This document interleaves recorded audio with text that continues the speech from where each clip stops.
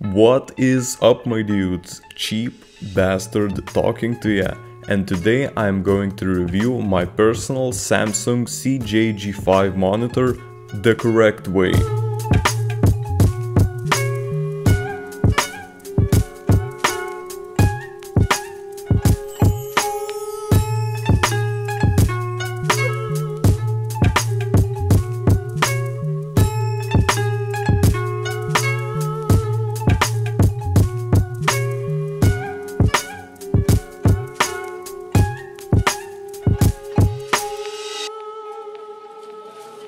So you don't get misled and do this.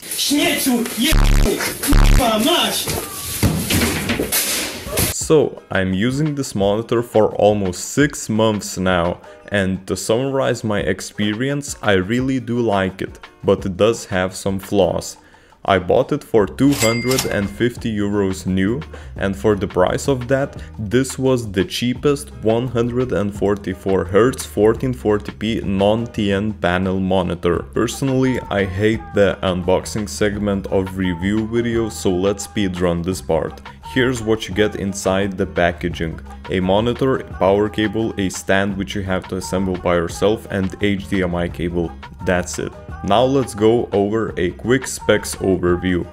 It is a curved 27 inch monitor with a VA panel, 16 by 9 aspect ratio, 4 millisecond response time, 2560 by 1440 resolution, 144 Hz refresh rate and 300 nit brightness. As for the ports, it has one DisplayPort and two HDMI outputs and a headphone jack and these ports could be easily hidden by this plastic piece right here which helps cables to look much tidier. Design wise this monitor is pretty default looking, the bezels are on the smaller side but not as small as my previous LG 27UD68 4K monitor. The stand is super stable, could easily survive an earthquake. And I kind of go in here at the bottom.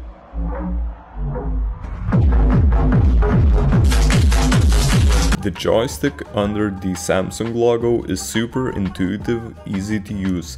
The UI is not the most modern looking, but it is swift and lag free. Now let's roll to the screen, which is the most important thing I think.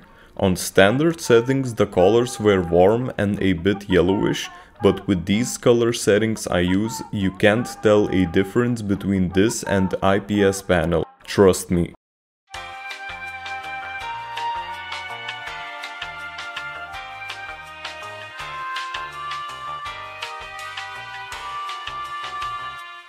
So, the colors are very beautiful and the brightness is just amazing. I have it set on just 30% and on 100% you won't have a need to go to the beach for sunbathing anymore. Viewing angles are pretty average because of the curve, the color shift exists but it is very minor. And of course, you won't be watching movies with your homies with this thing. Ah, are you seriously watching porn yourself? Nah, I'm with my boy! Because it is designed for direct viewing. If you live in a sunny room or have Jesus as your neighbor, Jello Beats, ah, ah. holla at me. this anti-glare screen is also not the best option. In direct sunlight you will see reflections of the sun, but as long as the light is not direct, it is fine. Now let's move on to gaming.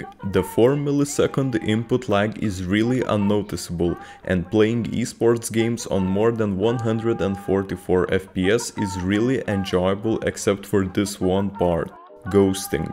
These pixels aren't as fast as in other monitors and they leave a noticeable trace behind, especially if the colors are vastly different. So if you are an extreme pro player, this monitor is not for you, but for a guy like me, which does gaming occasionally for fun, it is more than enough. Playing AAA games on around 60 FPS is also very enjoyable, everything feels really smooth and looks beautiful. And the only real way to eliminate ghosting is to So, to conclude everything, here are the pros and cons. I'll start with the cons. Personally, I don't like this curve because it is useless in my opinion, looks cool but not good for movie watching with other people. Slow pixels cause ghosting, but it is fine for most people. Anti-glare screen doesn't protect you from direct sunlight. Pros.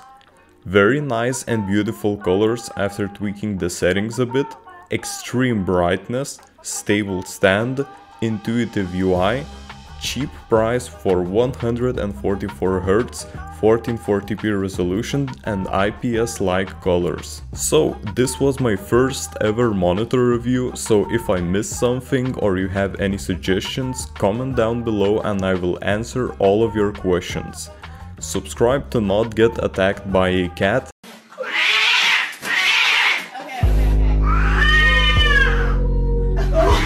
And don't forget to stay cheap, my dudes. Cheap bastard out. As always, the important thing to remember, do not touch your face.